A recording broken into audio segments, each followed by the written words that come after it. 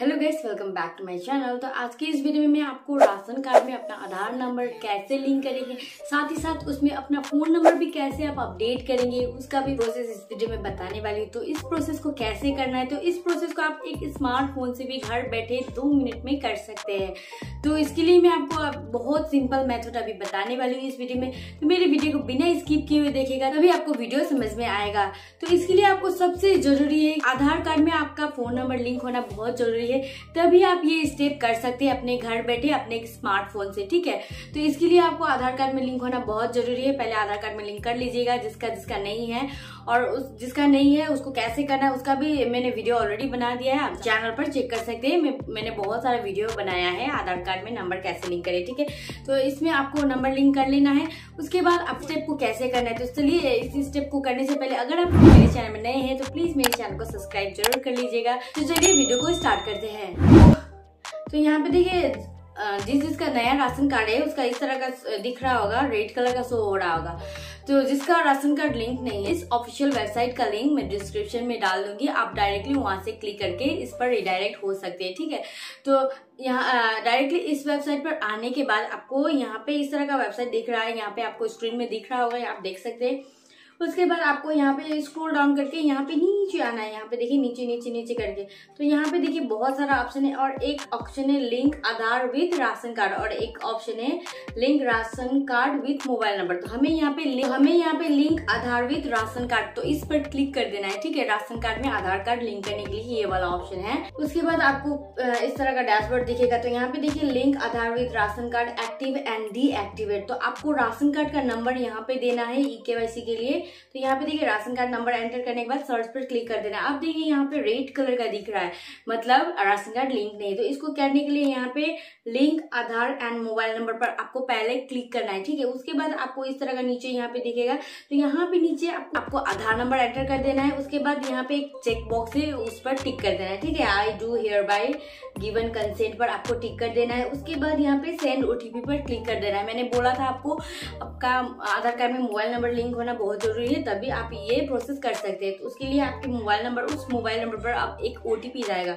ठीक है? उस ओटीपी का टाइम वैलिड रहेगा दो मिनट दो मिनट के अंदर अंदर आपको, जल्दी से आपको यहाँ पे उस ओटीपी को यहाँ पे एंटर कर देना यहाँ पे देखिए टाइम ई के टाइम आउट यहाँ पे दो मिनट का आपका टाइम आउट हो जाएगा दो मिनट बाद। ठीक है? तो यहाँ पे उस ओटीपी को यहाँ पे एंटर कर देना है। उसके बाद सबमिट पर क्लिक कर देना है।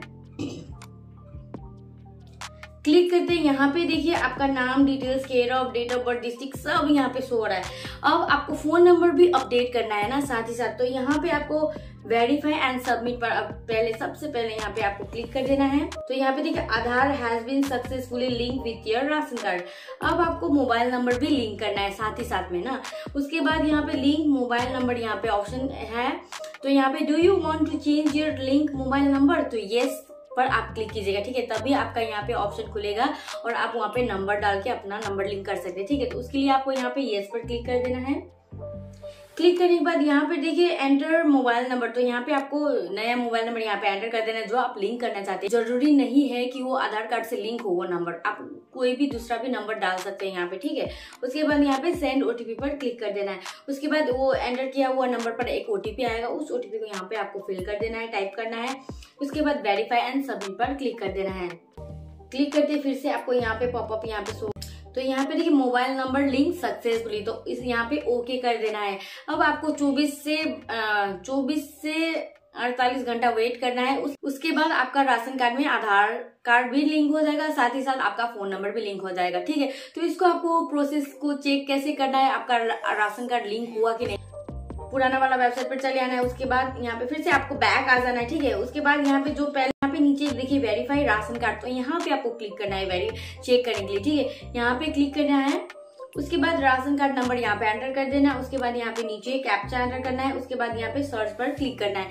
क्लिक करते हैं, यहाँ पे देखिए आपको यहाँ पर रेड कलर का अगर आपका राशन कार्ड लिंक नहीं हुआ होगा तो अभी भी रेड ही दिखाएगा, ठीक है, यहाँ पे। उसके बाद देखिए, अब एक दिन बाद लिंक हो जाएगा, अब उसको डाउनलोड कैसे करेंगे? आप लिंक राशन कार्ड को डाउनलोड कैसे करेंगे? फिर से आपको बैक आ जाना है तो वहाँ पे एक साइड में नीचे ई राशन कार्ड का ऑप्शन है, जहाँ पे आपने वेरीफाई क्लिक किया था, उसी के नीचे सीधा यहाँ पे देखिए आप, यहाँ पे ई राशन कार्ड का ऑप्शन है तो यहाँ पे आपको पहले क्लिक कर देना है।